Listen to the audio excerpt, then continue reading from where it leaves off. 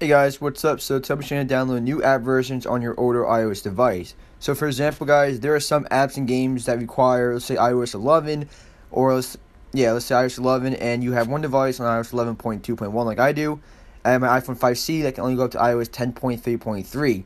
So right there, so guys, right there, I can only download it on my iOS 11 device and not my iOS 10 device.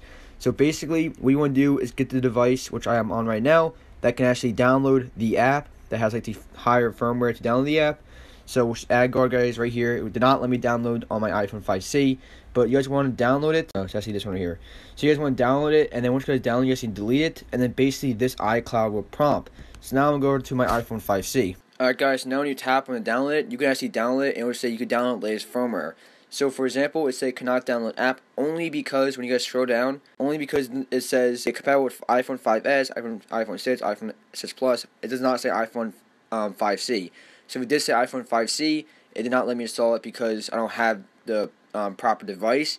But I'm saying if I did have the proper device and I did not have the higher iOS version, it will let me download it, but let me download the latest compatible version. So that's how you basically can bypass it. I mean, obviously, it does not work on every single app or game, but does work on a lot. And just try it out, guys, for yourself, and you see that it works. Alright, guys, so I did find another app. It's called AdBlock. It not let me download it on my iPhone 5C, but I already downloaded it on my other iPhone that was compatible with it.